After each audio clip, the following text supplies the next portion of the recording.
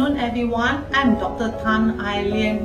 I'm a clinical oncology from the Bagan Specialist Center. Cancer myth 4 Sugar makes cancer worse. The myth most likely based on one study to say that actually cancer consumes more sugar compared to the normal cell. Some people mislead sugar will effective feeding the cancer cell and make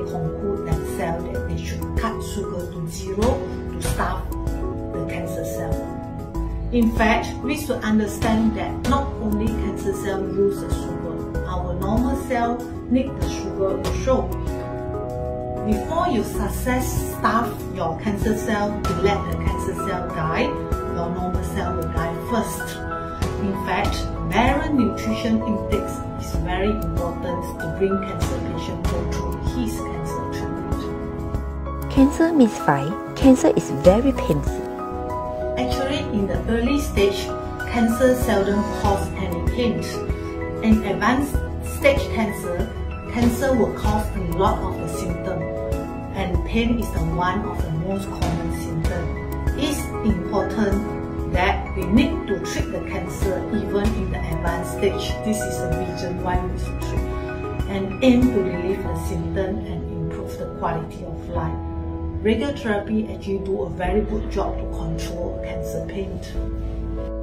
Cancer 6 I don't have family history of cancer and why I get cancer.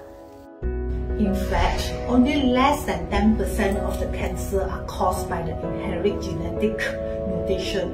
Majority means that 90 more than 95% our cancer actually is sporadic, means that not related to family inherited, and the cause are multifactorial I emphasized in the beginning including that multifactorial, including the genetic, lifestyle, environment, and extra and extra.